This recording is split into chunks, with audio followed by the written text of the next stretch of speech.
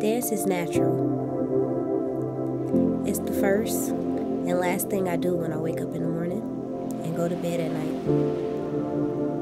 I dance to feel better, to smile, to let out anger, to feel again, to love, and to dream. Dance chose me. I started dancing when I was six years old. To me, dance is life.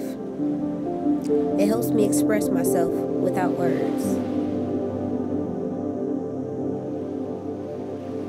But music, family, and life experiences has been my biggest inspiration.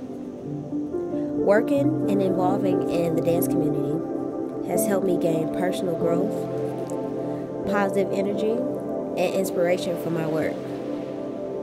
No matter if I'm teaching, collaborating with other artists, dance teams, experimenting with different music, or choreographing, I want to continue to grow and develop strength with creative movement.